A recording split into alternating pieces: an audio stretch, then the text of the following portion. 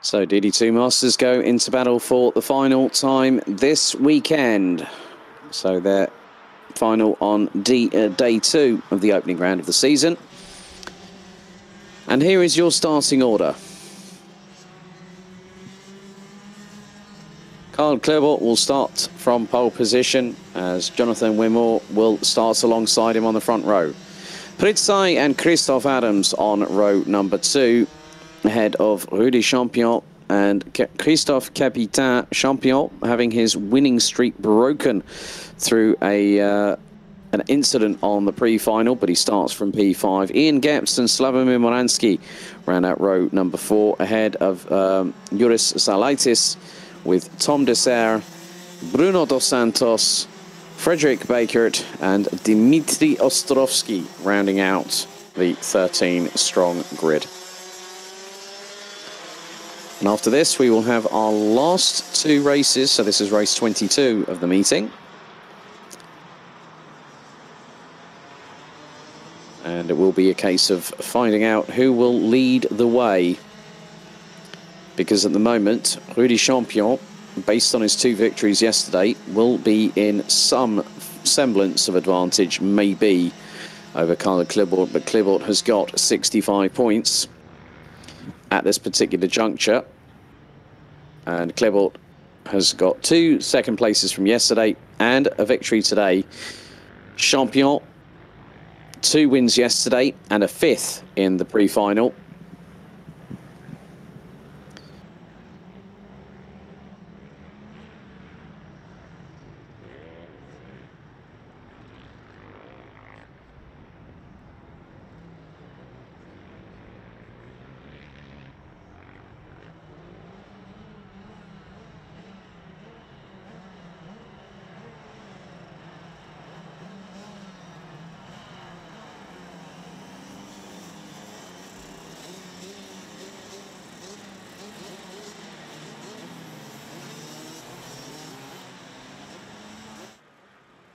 So we are about to get things underway for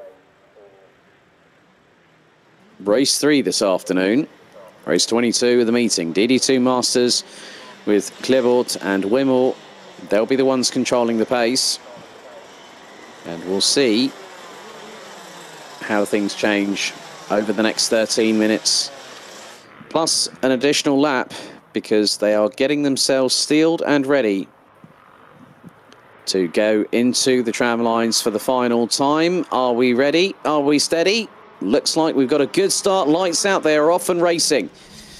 Klebold gets a good initial start. Looks like we have some other drivers trying to make their way through. Rudy Champion's already got himself up into third position as Christoph Adams seems to be leading the train from 6th downwards to 13th position as Rudy Champion making quick hay there uh, whilst the sun shines up the inside of Pritzai.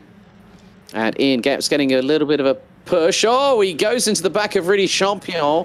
Now, who was right up his back bumper, I wonder? That must have been Jonathan Wimore. So Wimore was a bit too overzealous with the bump draft assist for Ian Geps, and that nearly could have caused problems for Rudy Champion as a direct result.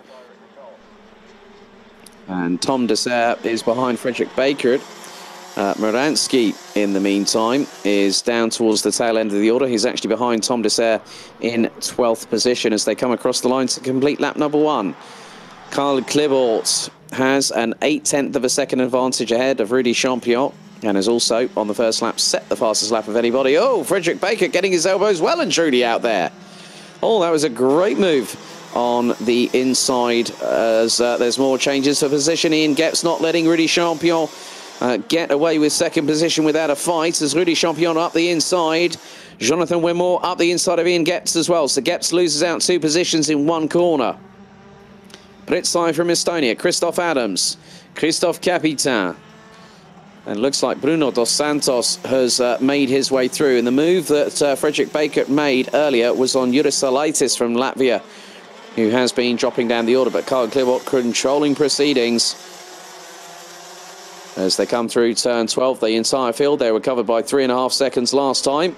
Klebort's lead now is one and a half seconds due to the battling between Wimore, Gepps and Champion. And Champion being the one leading that three-cart brawl. Is there's a problem, is that Tom Dessert? Oh, his weekend has ended on the biggest bad note possible. The 5.30 from GKS Lemons Power right at the back of the field. I think, if I'm honest with you, the way that looks like. all. now there was another move, and that was Ian Getz up the inside of Jonathan Wimore. He just literally sent it without, with no, with complete reckless abandon up the inside of Jonathan Wimore. And on that particular occasion, as Pritzai goes up the inside of the Frenchman too, through turn 10. So in three corners, Jonathan Wimore has dropped two places down from what was third, and he's now in fifth place as Christoph Adams closing in. Christophe Capitan is there, as well as Bruno dos Santos and Frederick Bakert. And Tom Dessert is still running at the back of the field.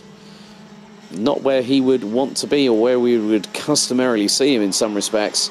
It's been a difficult weekend in the office for Tom Dessert. So we have 9 minutes and 51 seconds on the clock remaining, and it's getting to be like drafts between those like Christoph Adams. Uh, looks like Jonathan Wimore has lost out to the triple five. And then you've got Christophe Capitain, Bruno Dos Santos, and I must be honest, uh, Frederick Baker, aka Goose, uh, has got himself well and truly in the thick of the action. And that's one of the good things that you can learn about racing is by fighting with other drivers and learning how to get your skill set up there. And he could have possibly had a look up the inside of Bruno Dos Santos going through turn 12, but he thought better of it on that particular occasion. Clervaux has the lead of 1.1 seconds over Rudy Champion, who just sets the fastest lap of the race on lap number four. Gap now 1.129 seconds. So all 13 drivers still circulating as the sunshine continues to beat down here at Karting Genk, the home of champions. And in many respects, now it is 11 degrees Celsius. So the temperature has gone up about 5 degrees from earlier on this morning for morning warm-up. So we have eight and a half minutes to go. Still plenty of battles to be waged and wars to be won here on this circuit. Of course, it's only for the first round of the season, but there are another uh, four complete race days to go in the season. And when we come back after this weekend, we will head to the Circuit Karting des Fagnes International Raceway down in the Namur region of Belgium. A lovely place in the countryside and a fantastic track that in 2019 saw some great battling. So the drivers make their way through turn seven.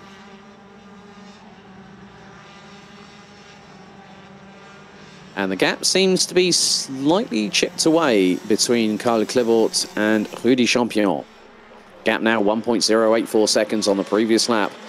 As Pritzai now holds the fastest lap of the race. A 54.458 second lap time from the Estonian in fourth position.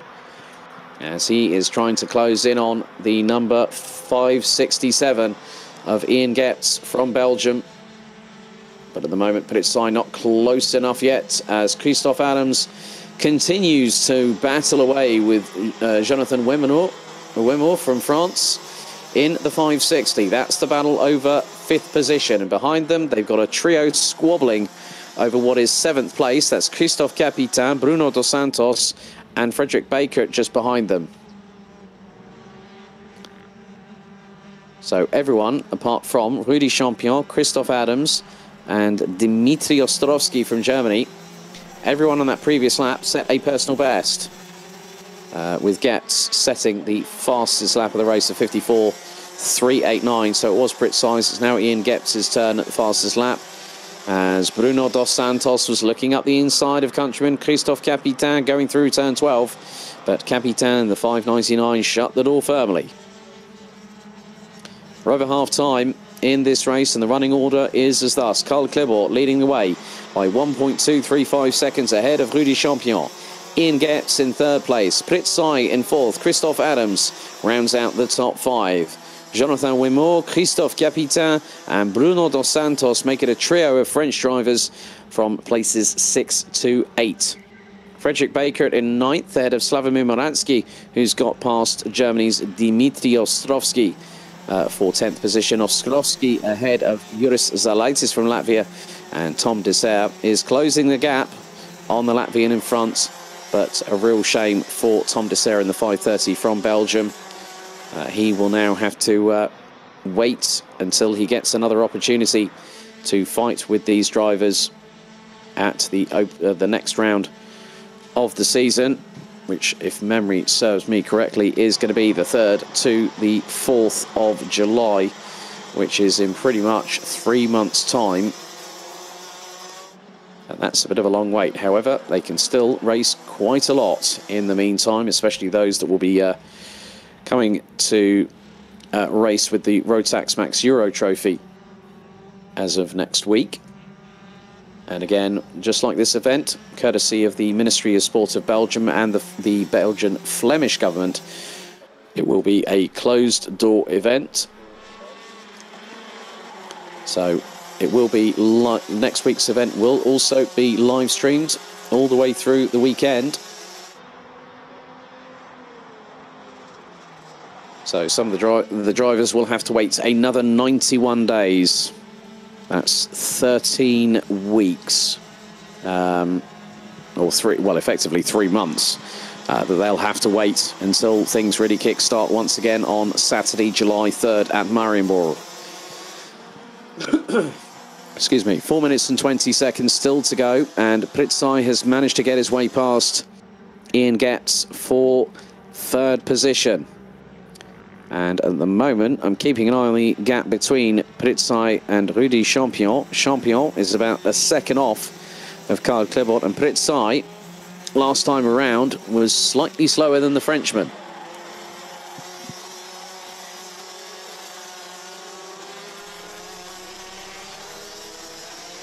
And again, Pritzai has now, re well, initially retook the fastest lap after lap 9, but Rudy Champion has closed the gap to Karl Klebot to just over 9 tenths of a second as the Frenchman in the 5.44 Sodi Kart entry representing Piquet's Competition puts in a 54.352 on that particular uh, lap time, on that particular lap. As we're now off of uh, lap 10, we're on to lap number 11. And we have just under three and a half minutes remaining. Good to see Frederick Baker keeping his elbows out and trying to go for it and trying to catch up with Bruno Dos Santos, who has got past Christophe Capitan. So Dos Santos up into seventh place now. And Baker has Slavomir Moransky behind him. It's not been the easiest of debuts for Slavomir Moransky on the BNL Karting Series front. However, this will give him an opportunity to fight against other drivers, and some of which who will be here at the Euro Trophy next week. Pritzai again drops the hammer. The Estonian puts in a 54.226 second lap time and closes the gap once again to Rudy Champion to just under eight and a half tenths of a second. Really good showing from the Estonian. He's had his moments. He's also had his opportunities uh, provided right in front of him and he's taken them with full abandon as there is Jonathan Wimore, who's got past Christoph Adams for fifth position. So the 560 now ahead of the triple five.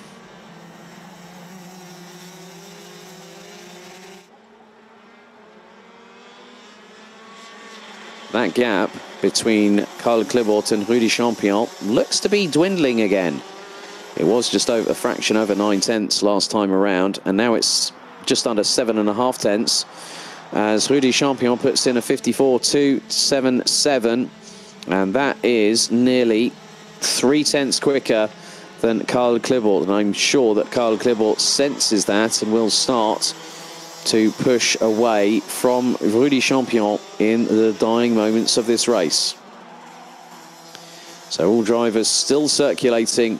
We have 90 seconds plus the additional lap in this race. All the drivers to complete and circumnavigate.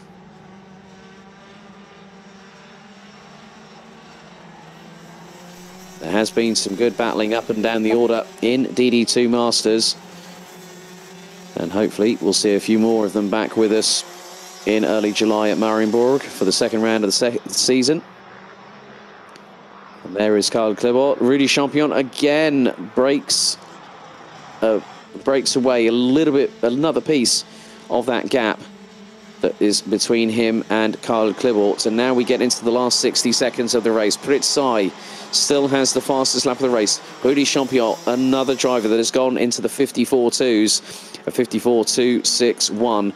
So that puts his fastest lap time 35 thousandths off of Pritzai. So we're on lap number 14, very soon we should hopefully be onto the penultimate lap of this race because the way that Carl Klibbort has been able to keep the lead has stood him in good stead for this weekend and also for the start of a season. It was a difficult year for Carl Klibbort, taking a doing a dual campaign in both the Euro Trophy and BNL. So onto the penultimate lap we go. Rudy Champion within three and a half tenths and closing rather rapidly. So Rudy Champion, two wins yesterday, a fifth earlier on today, and now he's trying to go for a win. Started P5 after all the penalties were enforced and the amendments were changed for the results of the pre-final earlier on today. So Rudy Champion fancies his opportunity of getting past Karl Klibbort, but after this lap, he'll only have one more. He'll have 1,360 miles to negotiate uh, meters to negotiate. So uh, Champion getting closer and closer as the moments tick down. So final lap board is out. Carl Klibbort is the first one to see it. Rudy Champion still within three and a half tenths. As Champion goes very deep on the brakes going through into turns one and two.